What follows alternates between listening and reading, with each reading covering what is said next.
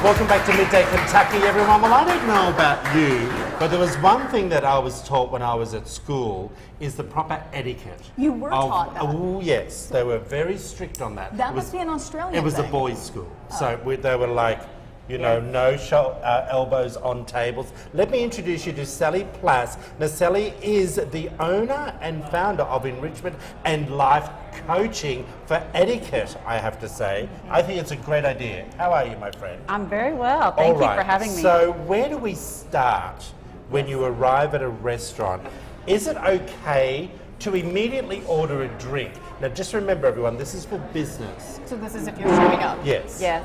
Talk to about a lot of rules for the business meal or uh, for an interview will be held over a meal. They might be the same as in social etiquette, but in the business world, you better be sure to Yes. follow the appropriate uh, etiquette for the meal. The uh, having good manners might get you the interview or Might might, get get, you you the the job. job. Having bad manners will probably not get you the job. Oh. So money's on the line here. Yes, absolutely. So, what you're saying is, is my first question was when you get there, you might be there first, which we do recommend Yes, everyone. yes. Um, do not order a drink. You maybe a Yes. glass of water. Just sit there. Well, no. Oh. I, actually, Wow. what you would do is wait in the reception area. Like this beautiful restaurant has this reception area. You wait for your party. Now, if it's time for your reservation, then you would want to go ahead and go to your table. If you are the host or the employer that's up, that's uh, having Yes. the interview, then you might go to your table and check on it. But it's still good manners to go out wait for your guest or for your the person that you're waiting on. And if you are running late, you would not you would go ahead and go onto your table as the host and go ahead then you could order something to drink or eat. But you're contr- but the host is controlling the interview. Yes, absolutely. But the interviewee, the person Yes. who's getting interviewed, zip. Zip as the guest. Don't even go sit. Wait for your host. Correct. I Yes. Good say advice. keep a bottle Yes. in the car Yeah. Those little mini to bottles. tickle the nerves. That's a different story. What else? She's covering once you get in the restaurant. What happens in the car? Yes. Okay, well, we're Yes. talking money because this is a business lunch. Yes. How do you know what to order on the menu? I mean, are you Oh. going for the lobster or are you going for the salad? Good question. Actually, to be safe, I would always go about mid-range.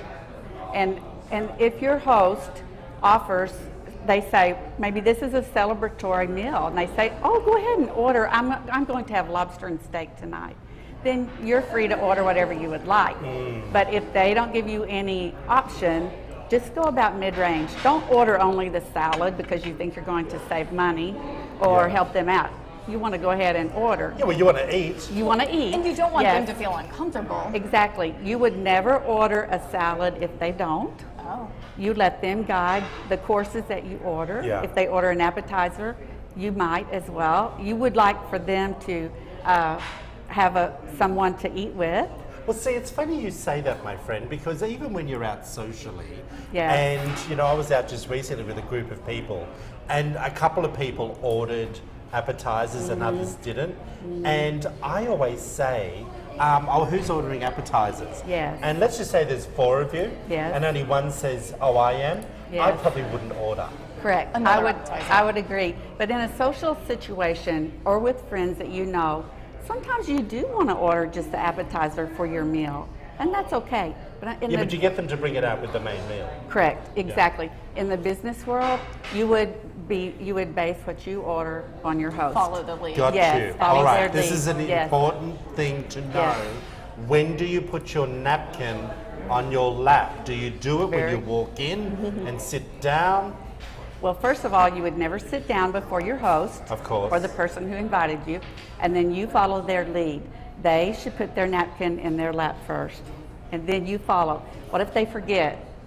Go ahead and put your napkin in your lap. Yeah. Even before you're served anything. Because even once they bring your water glass and the other things that you've ordered, you they can have drips and you leave your napkin on your lap until the very end of the meal.